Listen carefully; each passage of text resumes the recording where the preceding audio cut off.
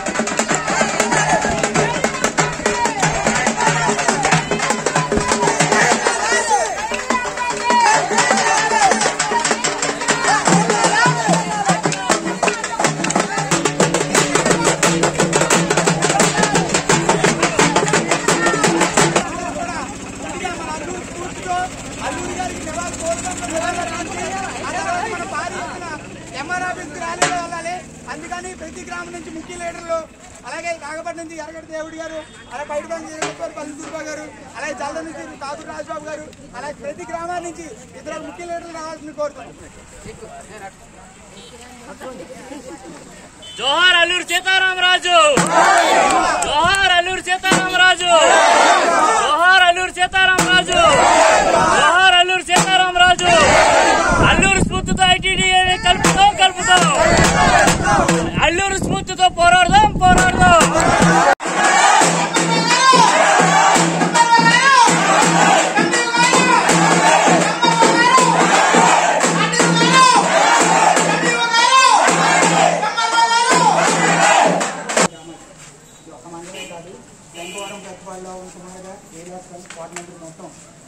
ఇప్పటికీ గత జగన్మోహన్ రెడ్డి గారు ఏదో ఎన్నికల హామీలో భాగంగా సప్లాన్ గిరిజనులు కూడా ఏజెన్సీలో కలిపేస్తాం.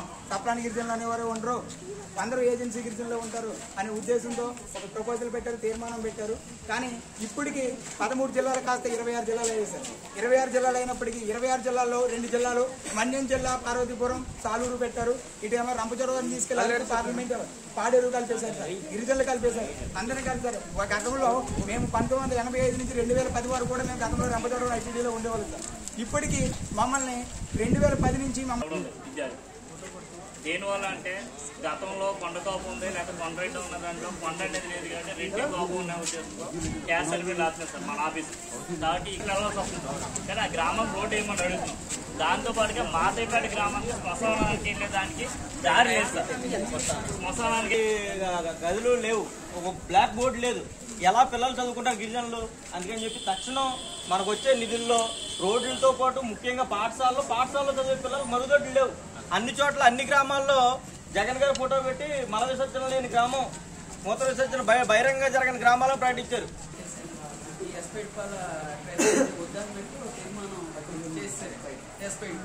కానీ తర్వాత మేము పీఓ గారికి ఇచ్చాము కలెక్టర్ గారికి ఇచ్చాము ఇలా తీర్మానం కలెక్టర్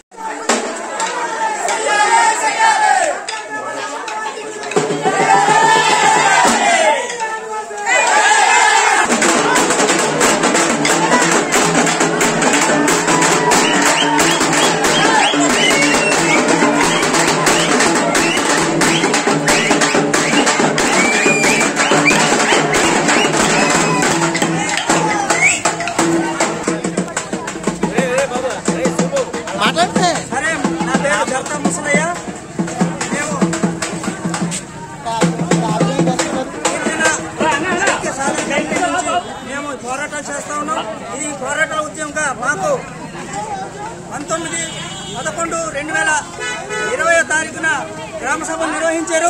ఆ గ్రామ ఆ గ్రామ సభలు నిర్వహించారు.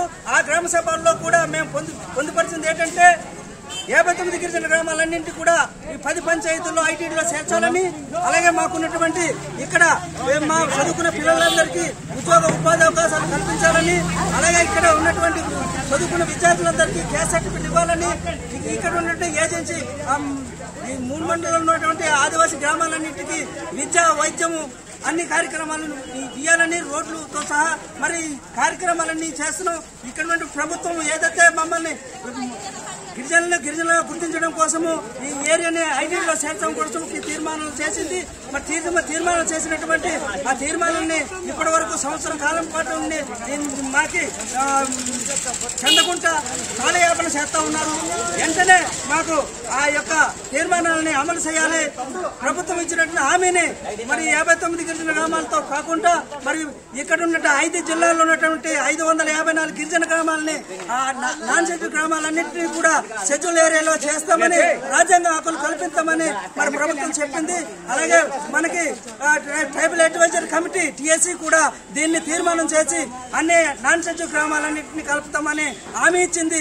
ఈ హామీని నిలబెట్టుకోవాల్సిందిగా మేము కోరుతూ మనకి ఈ ప్రతి మేము ఇక్కడ రౌతుగూడి మండలం శంకవరం మండలం ప్రతిపాడు మండలంలో కూడా మా యొక్క సమస్యల్ని అధికారులకు దృష్టికి తీసుకెళ్ళి మా యొక్క సమస్యలను కూడా ప్రభుత్వంకు చేర- చేరవేయడం కోసం మేము యొక్క ఈ నిరసన కార్యక్రమాలు చేపట్టడం జరిగింది. మా కార్యక్రమం జరిగేంత వరకు ఈ యొక్క సమ్మెను మేము ఈ యొక్క ధర్నాన్ని భారీ స్థాయిలో చేస్తామని నేను ఖండిస్తా ఉన్నాను ఈ యాభై తొమ్మిది గ్రామాలని కలిపి కదమలాపురం కేంద్రంగా ఒక మండలాన్ని ఏర్పాటు చేయాలని కోరుతున్నాం ఈ మూడు ప్రధాన డిమాండ్ల మీద ఈ ధర్నా జరుగుతున్నది.